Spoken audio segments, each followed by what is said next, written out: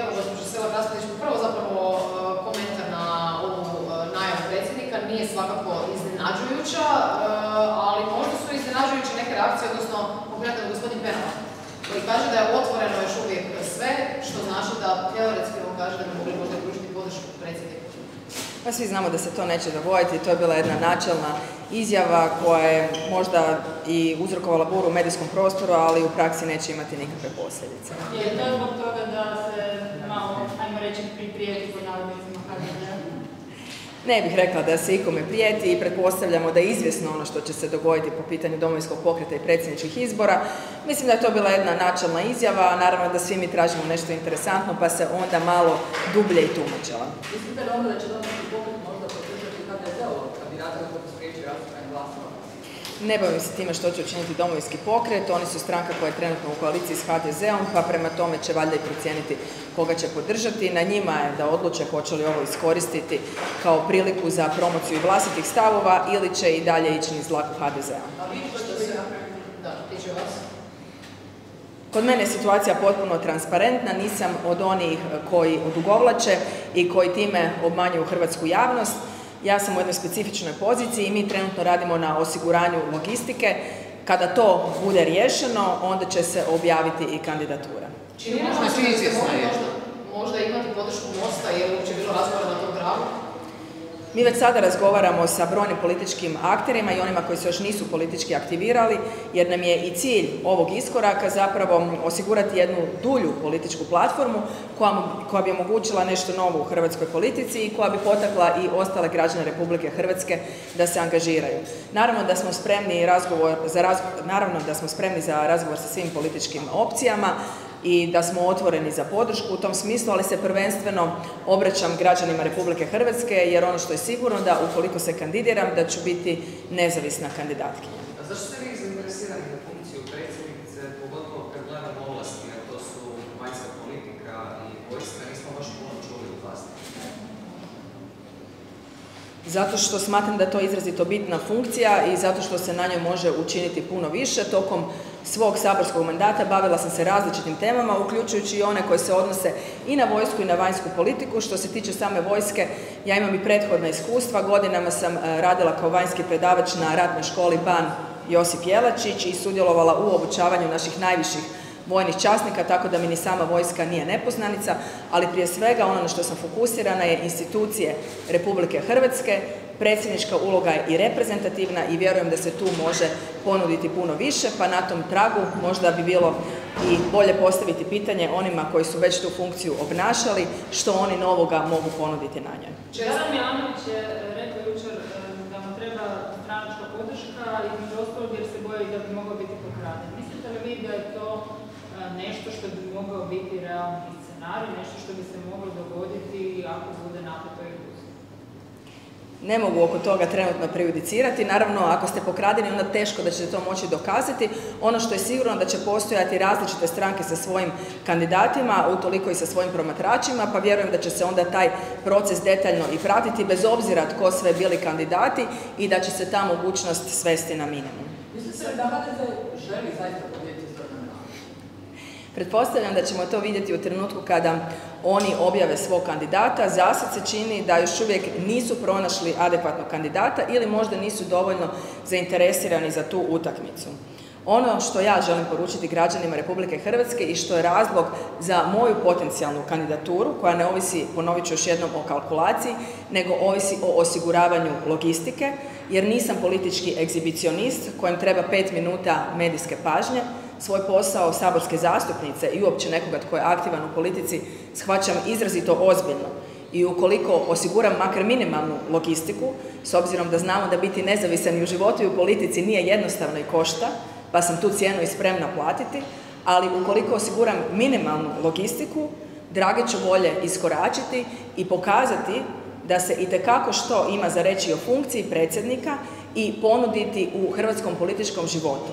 Ali prije svega da to bude na način da građani Republike Hrvatske vide da hrvatski politički prostor nije determiniran, predodređen i zauvijek zatvoren u jednoj klackalici između HDZ-a i SDP-a i onoga što i oni mogu ponuditi, nego da postoje i brojni drugi ljudi u hrvatskoj politici koji su se voljni angažirati. Ukoliko konačno jednom izaberemo osobu koja je neovisna na funkciju predsjednice Republike Hrvatske ili na bilo koju drugu bitnu funkciju, vjerujem da će to potaknuti i ostale građane Republike Hrvatske da iskorače i daju svoj doprinos i političkom životu Republike Hrvatske, a to bi za sve nas bila ne samo velika, nego i dugo iščekivana promjena. Do kada ste se dali rok da vidite li imate tu logistiku i financije i sve što vam treba? Naše ambicije oko logistike naravno nisu jednake onima velikih i vladajućih stranaka zato što smatramo da taj dio možemo kompenzirati sadržajem. Tako da one priče da ovi izbori nisu ni za koga osim za velike stranke ne smatram točnima. Ovo su itekako osobni izbori, prije svega gleda se osoba i ono što ona ima za ponuditi, način na koji se ona može konfrontirati s drugim političkim akterima i što novo može doprinijeti hrvatskom društvu, ali i političkoj sceni. U tom smislu radimo na osiguravanju minimalne logistike, jer ipak nismo politički bleferi, a hoćemo li to uspjeti i s kime ćemo se sve dogovoriti oko jednog šireg i dugoročnog političkog puta, a ne jednokratnog predsjedničkog bljeska, biti će poznato vrlo brzo, zato smo u krajnjoj liniji bili i jedni od prvih koji su najavili u javnom prostoru da su se spremni izložiti. Sada na neki način svjedočimo i jednoj ciničnoj situaciji da oni koji imaju logistiku ili nemaju kandidate ili nemaju što novo za ponuditi, mi imamo i što reći i koga za ponuditi, a radimo onda i na osiguranju onih minimalnih preduvjeta da bi se moglo ozbiljno ući u kampanju izvan nekakvog tipa političkog egzibicionizma koji je nepotreban hrvatskoj javnosti. Ako zaista budete kandidatkinja, jeste li spremni za uh, sukobljavanje, verbalno sukobljavanje s predsjednikom Milanovićem, on do koga je uzeo na zub, nije tako lako puštao, pa je to neka bitka koja je ozbiljna bi mogla biti čini.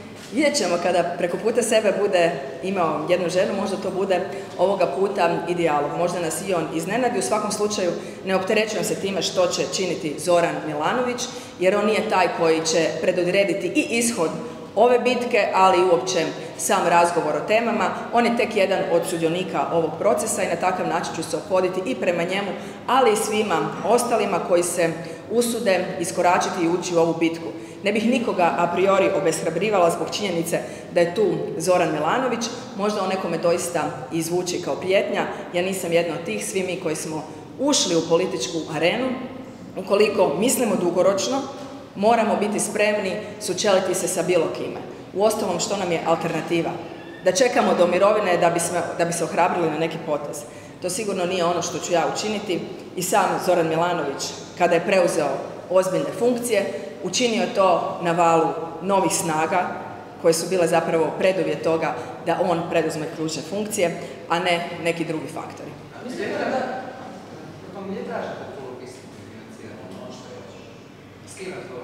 Kao što smo i ranije istaknuli, razgovaramo s različitim političkim akterima. U ovom trenutku razgovaramo i sa Darijom Zurovcem s kojim smo trenutno u klubu. Razgovaramo i sa strankom Republika, sa Damirom Vanđelićem kao osobom koja je već realizirana na političkoj sceni, ali i sa nekim drugim akterima koji nisu možda širo javnosti u ovom trenutku toliko poznati. Naravno, razgovarat ćemo i sa drugima koji su trenutno prisutni na političkoj sceni, budući da ću, ukoliko istupim, istupiti kao nezavisna kandidatkinja, naravno da ću pozvati i sve druge da me podrže, jer prije svega obratit ću se hrvatskim građanima u krajnjoj liniji. Funkcija predsjednice Republike Hrvatske je po definiciji Ustavom uokvirena kao nestranačka. Mi smo do sada imali situaciju da su se na toj poziciji nalazile osobe koje su uvijek bile stranački dužnici i koje se nikada nisu odhrvale tom porivu unatoč svojoj samodeklarativnoj nezavisnosti. Ukoliko na tu funkciju doista bude izabrana osoba koja jest nezavisna, a sama nikada nisam bila članicom niti jedne političke stranke, onda bismo na neki način mogli imati i revoluciju u hrvatskom političkom prostoru, jednu svježinu za koju smatram da je itekako dobrodošla. Smatrate li da je Zoran Milanović nakon poraza na parlamentarnim izborima? To nije pitanje onoga što ja mislim, o tome će procijeniti hrvatski građani, ali svakako da mislim da je dobro i korisno to što je napravio za vrijeme parlamentarnih izbora ili da ima što novo ponuditi u svom potencijalnom budućem mandatu, ne bih bila jedna od onih koja bi u ovom trenutku iskoračila i najavila svoju potencijalnu kandidaturu. Postanete predsjednica, kako ćete se postaviti u suradnji sa, sa vladom? Li biti ovakvi odnosi kakvi jesu, tvrdi ili ćete imati, imati drugačije? To će naravno ovisiti i o samoj vladi. Bilo bi preuzetno prejudicirati na koji način ću se postaviti bez da sam uopće došla u situaciju u kojoj uspostavljam dijalog i vidjela povratnu reakciju. Međutim, ono što mogu garantirati je da ću uvijek ispred svoga ega staviti interes Republike Hrvatske na način da ću svaku situaciju i svako imenovanje gledati pojedinačno s obzirom na dobrobit Hrvatske, a ne kao neki uvjetni slijed ucjenjivanja i potencijalnih drugih i budućih imenovanja, što bi nas dovelo i u slijepu ulicu. Uvijek, bez obzira na povratnu reakciju druge strane, na koju ne mogu utjecati, mogu utjecati na ono što bih sama činila, a tu interes Republike Hrvatske, a ne moj ego moraju biti na prvom mjestu.